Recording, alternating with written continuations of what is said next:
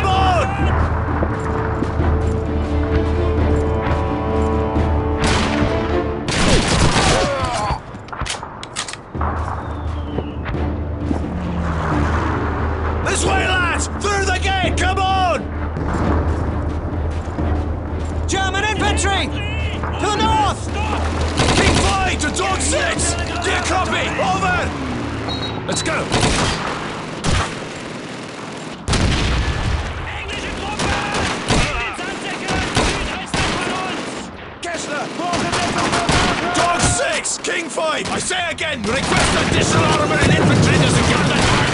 Over! Damn it!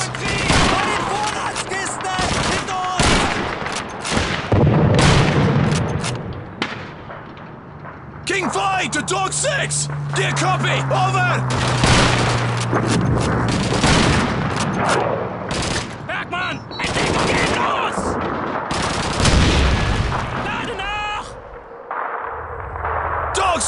This is King 5! Come in! Over!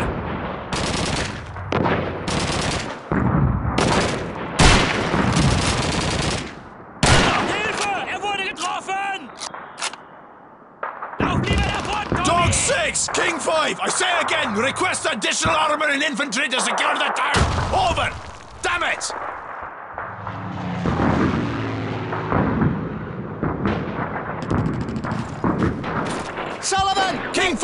dog six!